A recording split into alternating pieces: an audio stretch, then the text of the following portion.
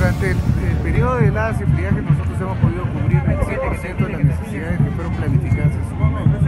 Lamentablemente, ese 100% resultó corto frente al, a la intensidad del fenómeno este año, que sobrepasó todos los, pronósticos esperados.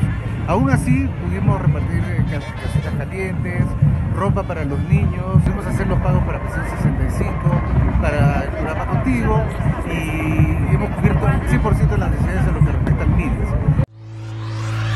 Ministerio de Desarrollo e Inclusión Social. Gobierno del Perú. El Perú primero.